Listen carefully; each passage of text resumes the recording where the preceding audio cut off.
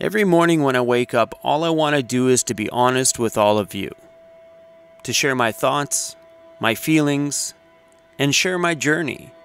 To show you guys what van life really is like. From the epic moments, to the emotional hard moments, to the days where we're just doing the everyday mundane, like doing laundry or cleaning the van.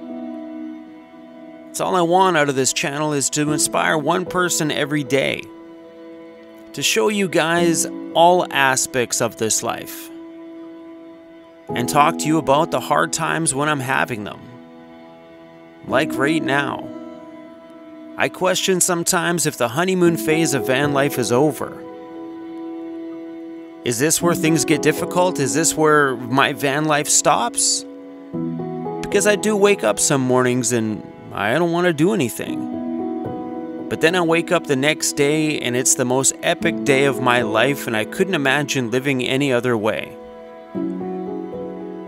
I just want to be honest with you guys and show you my everyday van life.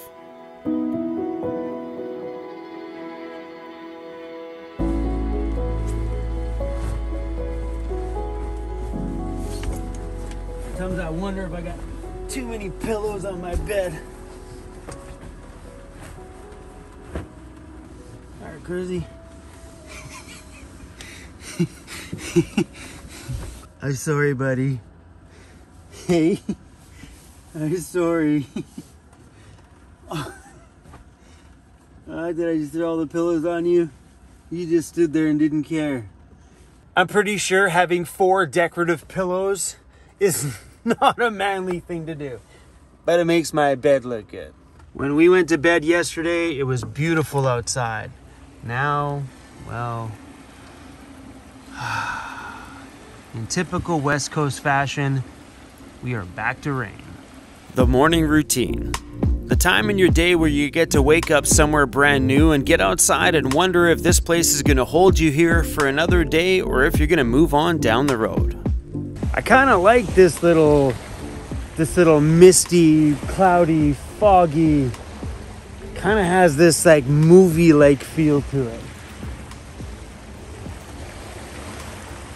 It's crazy cuz before I started this whole van life thing, I would have never have found a rainy day beautiful.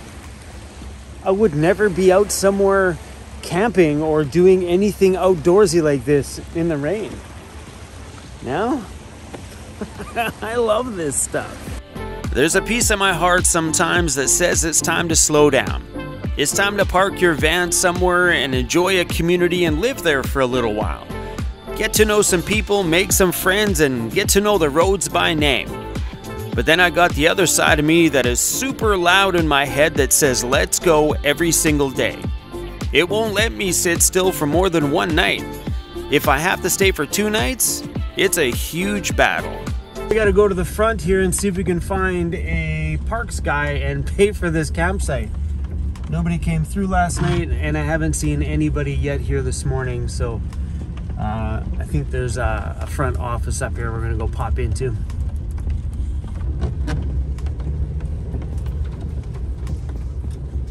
Okay, um, system's not up yet. I just walked in. We're here a little early. They haven't quite opened yet. Um, so yeah, parking was 26 bucks or camping was $26.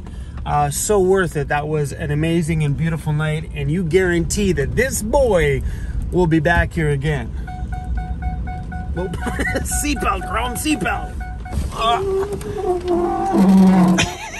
it's a noisy door there. Uh, over here, there's always a lot of scuba divers. Scuba diver. Well, I can't even spit that word out this morning. Scuba divers. Uh, usually over here because I guess um, I've never obviously been down there, but I hear that there's a sunken ship out there um, that the divers can uh, swim around and check out. So that would be pretty damn awesome to go see. Anyway, guys, we're heading back into Squamish.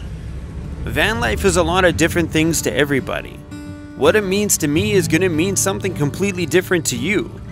Some people are getting into this lifestyle just to relax, just to go park their van by the beach or a lake or in the backcountry somewhere and just escape the life that they're not happy with.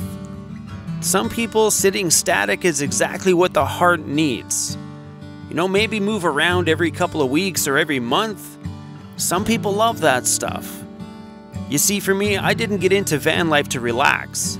I got into van life because I needed something different with my life that I felt creatively as a person my old lifestyle wasn't working out anymore. So I dropped it all, sold it all because I was seeking something bigger. And I think for me, that's why I move around so much, is because I'm trying to just, I don't know, find that creative part of me that makes me feel alive. And sitting still for me, I feel like I lose a major part of my creativity. For me, van life is all about movement. I have never stayed here before. We are at Porteau Cove Campground. It's an oceanside campground. They start all the way down, they end down there, they go all the way as far as you can see. Things can be noisy sometimes. And I'm not just talking about the noise of the towns and the cities and industries working. I'm talking about the noise in your head and the noise from other people. I know there's a lot of you that watch this channel that are having a hard time getting into van life because of those around them that are just saying what they feel, and that's causing a lot of noise inside of your head. You need to listen to your own voice. And sometimes that means going out somewhere, finding a bit of solitude, so you can block out all that noise that you don't need to listen to. Because if somebody's got an opinion about what you do with your life, what you need in your life, that's them just trying to make you live the same miserable life that they do. You need to block those voices out. You need to find that moment in your day where your voice is loud and clear and listen to you. I don't need to sit still forever to find calmness. Because in moments like this one right here is where my voice is loud and clear. Wow. This little town of Squamish is pretty damn incredible.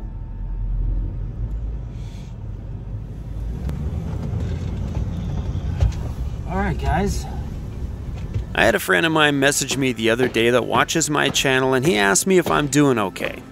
He said I've been a little bit calm in my videos lately and he's a little worried about me. I told him, don't worry, I got the greatest job on the planet.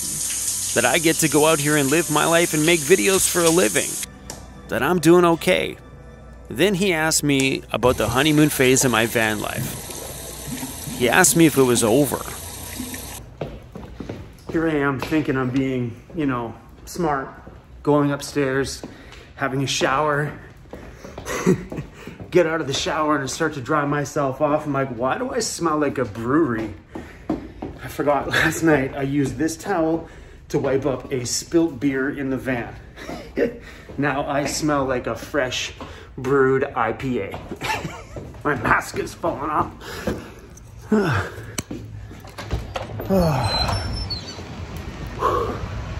I still feel good though. Way better than I did about 10 minutes ago.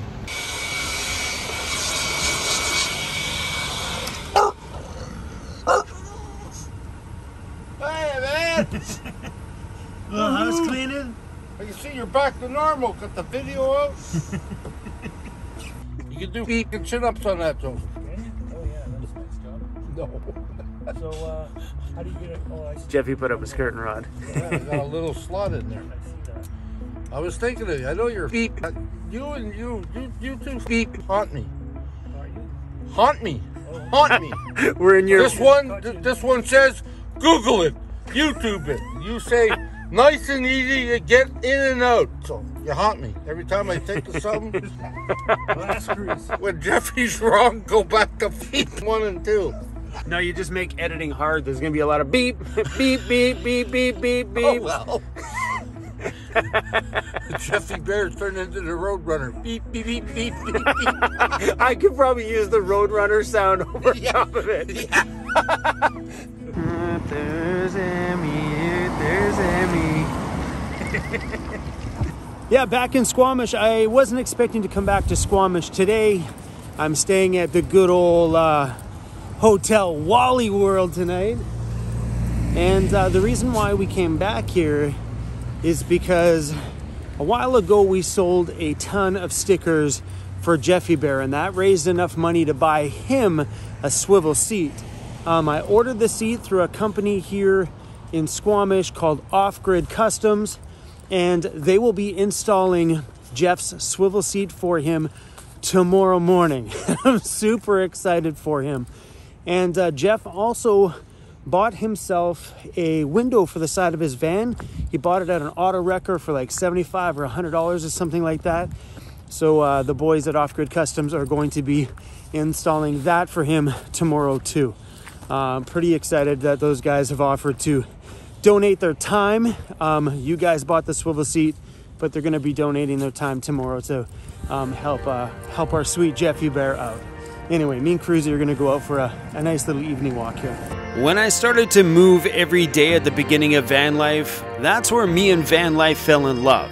So I don't think my honeymoon phase is ever going to be over as long as me and van life keep moving on down the road. this thing is pretty sweet. I've driven by this tons of times, just never walked over through this plaza. On the top of that giant tower, all that's up there are advertising signs for the businesses back here. Pretty cool. Looks like a pretty big water tower.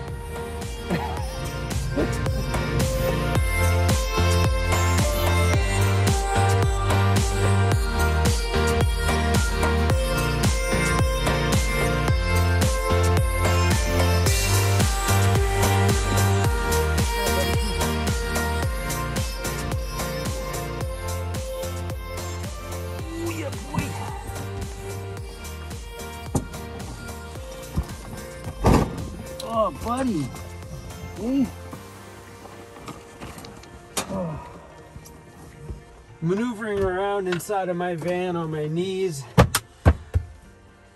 is something that you just kind of get used to. For the longest time, my knees were in horrible shape. like, they looked like they were kind of like abused. They were brutally beaten up. But uh, I've been keeping them a little bit better nowadays with a little scrubby thing. Uh, where is it here? I use it when I shower. It's like this little stone. It's like a, a lava rock or something. Um, it's great. Just scrub it over top of the knees and my knees look normal. Um, all it took was just a little bit of love and care instead of me just leaving it alone, being a man, get letting them get all like, because they were like calloused. My knees look so bad. Now they're they're all good now. Hey, Cruzy, you hungry? Oh.